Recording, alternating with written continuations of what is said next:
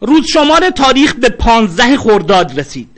خرداد پرشور و حرارتی که نقطه عطف انقلاب اسلامی شد. درست در پنجاه و هشت سال پیش هنگام برگزاری مراسم بنی اسدی خبری مردم را دگرگون کرد. خبر مربوط می شود به سخنرانی تاریخی امام در خصوص اربابان رژیم پهلوی و سپس دستگیری ایشان.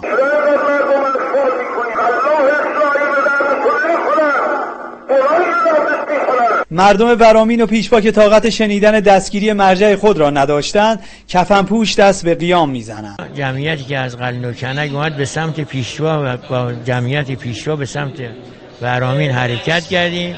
از جاده قلسین آمدیم بین راه گفتن مردم جهاده دارین کجا میرین؟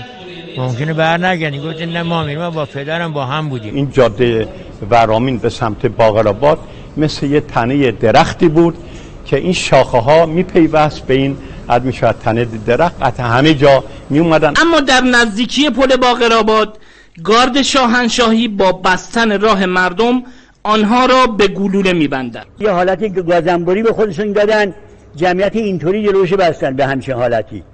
جلوشی که بستن ما همه جوان بودیم و خلاصه ملت هیچ کنم تکن نخوردن حالا وظیفه ما در قبال خون شهدا بعد از این همه سال چیست؟ وظیفه داریم به عنوان یکی از ارزش ها و یکی از میراث های ارزشمند حضرت امام 15 خرداد رو که ایشون تعبیر فرمودن برای همیشه اعضای عمومی اعلام می‌کنم رو گرامی بداریم. همچنین امسال در اقدامی مهم دفتر موزه قیام 15 خرداد با هدف جمعآوری اسناد در محله سرچشمه پیشوا افتتاح شد. قرار هست انشاءالله این شروعی باشه برای برپایی یک مکانی برای موزه ثابت. امیدواریم این جمع آوری آثار مقدمه ای بشه برای اینکه این ارائه فرهنگ خیلی آسانتر ماندگار بشه. رژیم پهلوی در آن سال می‌خواست جریان مذهبی رو با قدرت کنار بزنه.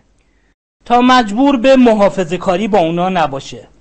ولی نمی‌دونست تاوان خون شهدا پایان حکومتشه اگه خوابی اگه بیدار یاد من باش.